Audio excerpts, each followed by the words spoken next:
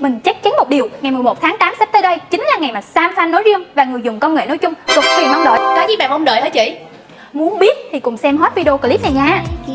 là thổn thức vì sắp được cùng sở hữu máy em nói rồi nè Đây chỉ mới là một góc thôi đó nha Nào là Galaxy Z Flip 5, Galaxy Z Fold 5, Galaxy Watch 6 cùng Tab S9 cực kỳ nhỏ gọn mà không kém phần ấn tượng luôn nè Nghe nói tại di động Việt đang có ưu đãi đặc quyền cực kỳ đặc biệt có 102 dành cho Galaxy Z Fold 5 và Z Flip 5 đó nha. Chính là xài đã không thích thì trả. Rồi còn hoàn tiền nếu chỗ nào bán giá rẻ hơn nữa.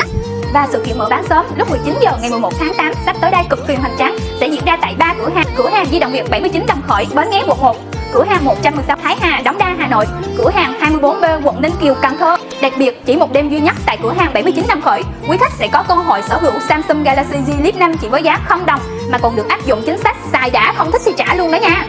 Còn chần chừ gì nữa mà không đặt trước ngay bộ đôi siêu phẩm Samsung Galaxy Z Fold 5, Samsung Galaxy Z Flip 5 để nhận được bộ ưu đãi lên đến hơn 14 triệu và trở thành chủ nhân sở hữu sớm siêu phẩm này vào ngày 11 tháng 8 nha.